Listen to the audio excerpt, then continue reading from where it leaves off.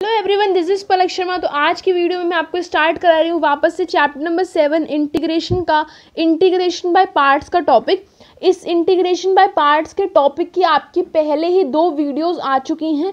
पहली वीडियो में मैंने आप लोगों को जो भी बेसिक कॉन्सेप्ट थे फॉर्मूला कहाँ से आया, कैसे यूज़ होगा, क्या बेसिक क्वेश्चंस आ सकते हैं, वो सब आपसे में डिस्कस किया था एंड आपको कुछ क्वेश्चन कराए थे।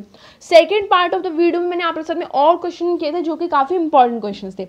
आज थर्ड पार्ट ऑफ़ वीडियो है and last part of video है, इसमें हम लोग जो आपके इंटीग्रेशन बाय पार्ट के इन्वर्स ट्रिग्नोमेट्रिक फ़ंक्शन के क्वेश्चन आते हैं, वो हम लोग डिस्कस कर लेंगे एंड आपका ये इंटीग्रेशन बाय पार्ट्स वाला टॉपिक कंप्लीट हो जाएगा। उसके बाद हम लोग नेक्स्ट टॉपिक में मूव ऑन करेंगे।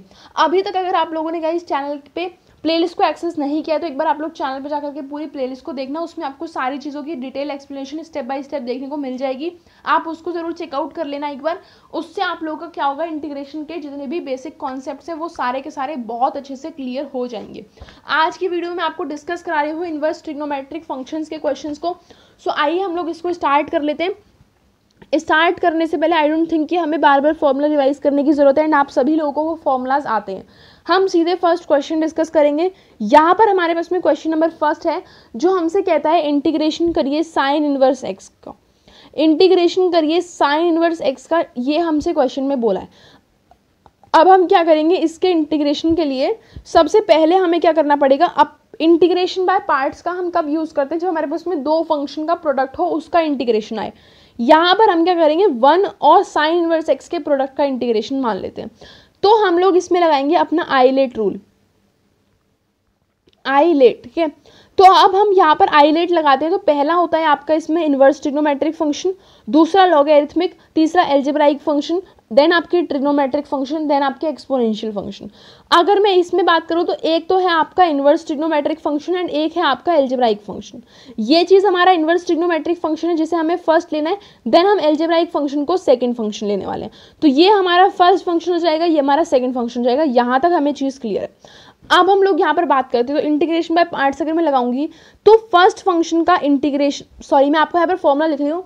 फ़र्स्ट फ़ंक्शन आपका एज रहता है सेकेंड फ़ंक्शन का आप लोग करते हैं इंटीग्रेशन माइनस आप करेंगे whole integration of first function का differentiation into integration of second function और फिर हम कर देंगे इस पूरे का इंटीग्रेशन अब यहाँ पर हम लोग इस फॉर्मूला को अप्लाई करेंगे तो आपके पास में क्या आ जाएगा आंसर यहाँ पर आपके पास में आ जाएगा फ़र्स्ट फ़ंक्शन तो एज इज़ रहेगा। मतलब साइन इनवर्स एक्स आपका एज इज़ रहने वाला है। इंटीग्रेशन करेंगे सेकेंड फ़ंक्शन का मतलब one into d x minus whole integration करेंगे फ़र्स्ट फ़ंक्शन का डिफरेंशिएशन मतलब डी बाई डी एक्स हम करेंगे किसका? साइन इनवर्स एक्स का। साइन इनवर्स एक्स का डी बाई डी एक्स करेंगे, उसके साथ में इंटीग्रेशन करेंगे सेकेंड फ़ंक्शन का और फिर हम इस पूरे का होल इंटीग्रेशन करने वाले हैं। अब अगर मैं यहाँ पर बात करूँ तो ये हमारे पास में क्या हो जाएगा? Sine inverse x as is रहेगा। One into d x one का जो इंटीग्रेशन आएगा, वो हमारे पास में आ जाएगा एक्स माइनस हम यहाँ पर करेंगे इंटीग्रेशन ऑफ़ सबसे पहले हम लोग साइन इनवर्स एक्स का करते हैं डिफरेंशिएशन जो कि हमारे पास में हो जाएगा one upon root of one minus x square one का इंटीग्रेशन करेंगे, आपके पास में आ जाएगा एक्स और फिर हम कर देंगे इस पूरे का इंटीग्रेशन इसके लिए हम क्या करेंगे, अब यहाँ पर आते हैं। ये चीज़ हमारे पास में हो जाएगी x sine inverse x x sine inverse x minus यहाँ पर आप करो। यहाँ पर आपको इंटीग्रेशन करना है x upon root of one minus x square d x का और इसका इंटीग्रेशन करना एक बहुत ही बढ़िया पार्ट रहेगा। इसके इंटीग्रेशन के लिए हम लोग क्या लगाएँगे? इंटीग्रेशन बाय सब्सटीट्यूशन लगाएँगे। उसके लिए मैं कर लेती हूँ जल्दी से कलर चेंज जिससे हमारा और अच्छे से इंटीग्रेशन बाय सब्सटीट्यूशन लग पाए।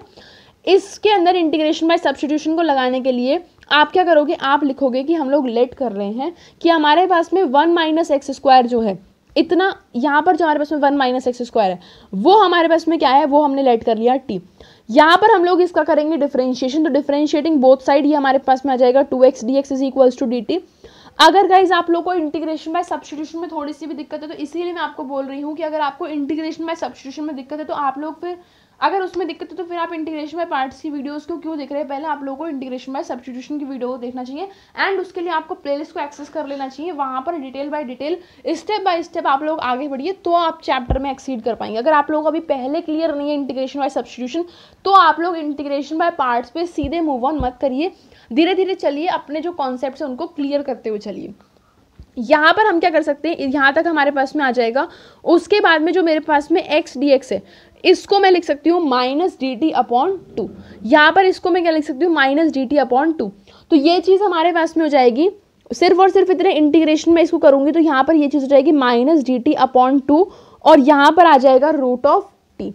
अब हम इसको आगे सॉल्व करेंगे। बाकी की जो चीज़ है वो तो हमारी एज इज़ चलती आएगी एक्स साइन इनवर्स एक्स तो या तो आप इसी स्टेप बाय स्टेप इसको करते आओ। या आप कर, क्या करो, इसको अलग से इंटीग्रेशन मान लो आई वन आई टू और इसको अलग से सॉल्व करके वापस ला करके इसकी वैल्यू पुट कर दो। वो और भी अच्छा तरीका रहेगा।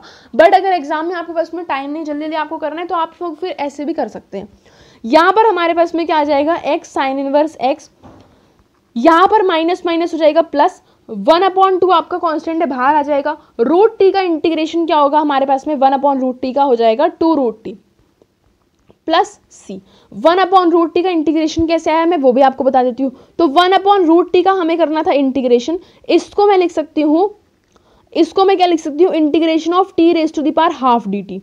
T raise to the power minus half d t ठीक है?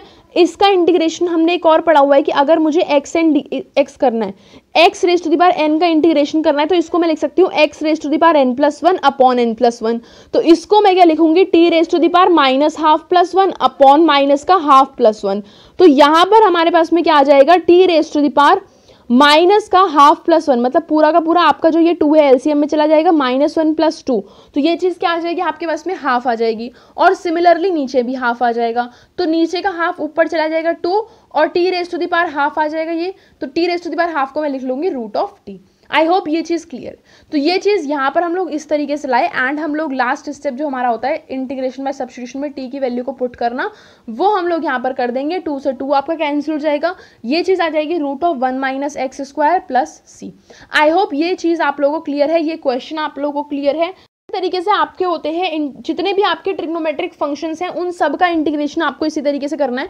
आप लोग क्या करोगे? आप इस वीडियो को देखने के बाद एक बार घर पे, जो आपके छह ट्रिग्नोमेट्रिक फ़ंक्शन है sine cosec tan sec cosec cot इन छहों का आप लोग एक बार घर पे ट्राई करोगे। किसी एक का भी अगर आपको नहीं आता है समझ में किस तरीके से हुआ है तो आप मुझे तभी की तभी कमेंट सेक्शन में बता देना कि इस वाले का मेरे को समझ में नहीं आया, ये वाला आप वीडियो बना दो। मैं उसी की वीडियो आप लोग बना दूँगी। मैं इस वीडियो में पूरे छह ट्रिनोमेट्रिक फ़ंक्शन सिर्फ़ और सिर्फ़ इसलिए नहीं करा रही हूँ, क्योंकि काफ़ी सारे बच्चे क्या कर रहे हैं, सिर्फ़ और सिर्फ़ वीडियो को देखते हैं एंड वो घर पर बिल्कुल भी ट्राई नहीं कर रहे गाइज़ मेरे बनाने से देखो, मैं तो बना दूँगी बड़ी बड़ी वीडियोस आप लोग उसे देख भी लोगे पूरा का पूरा बट उससे आपका फ़ायदा नहीं होने वाला है। आप क्या करो, एक चीज़ देख जाओ किस तरीके से होनी है उसके बाद जो बाकी के छह सिमिलर हैं, उनको खुद ट्राई करो। अगर नहीं होते हैं तो आपके लिए खुली हुई अपॉर्चुनिटी आप कमेंट सेक्शन में बता दो। एक दिन के अंदर आपको उसकी वीडियो मिल जाएगी। ज़्यादा अर्जेंट है मतलब आप बिल्कुल मैथ्स के एग्ज़ाम से पहले ही देख रहे हो आप लोग। तब ज़्यादा अर्जेंट है तो तभी के तभी बता दो, मैं एक मिनट के अंदर आपको जल्दी से जल्दी मतलब जितना एक घंटे के अंदर वीडियो हो पाएगा, तभी के तभी आपको अपलोड करके दे दूँगी। सो आप एक बार इसको ट्राई करना, अगर वीडियो अच्छा लगता तो वीडियो को लाइक करना, चैनल को सब्सक्राइब करना, वीडियो को और शेयर करना अपने सारे दोस्तों के साथ में। नेक्स्ट वीडियो में नेक्स्ट टॉपिक से स्टार्ट करेंगे तो तब तक के लिए आप लोग को क्या करना है, सिर्फ़ इंटीग्रेशन के बाय पार्ट्स तक के टॉपिक को सारा रिवाइज कर लेना है प्लेलिस्ट को एक बार एक्सेस कर लेना है। Till then thank you so much for watching the lecture and till then take care bye bye I'll meet next video bye bye